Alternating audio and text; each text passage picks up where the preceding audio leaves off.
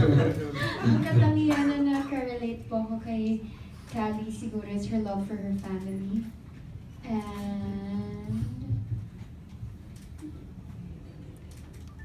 minsan palaban, pero hindi sa lahat ng pagkakataon.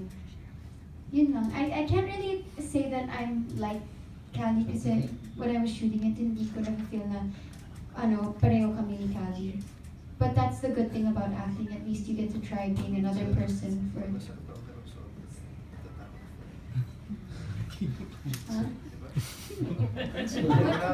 Ganyan po sila.